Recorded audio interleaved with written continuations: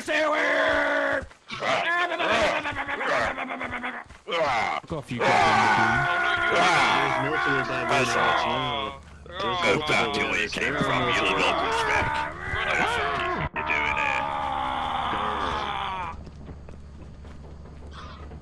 Was it a bit excessive?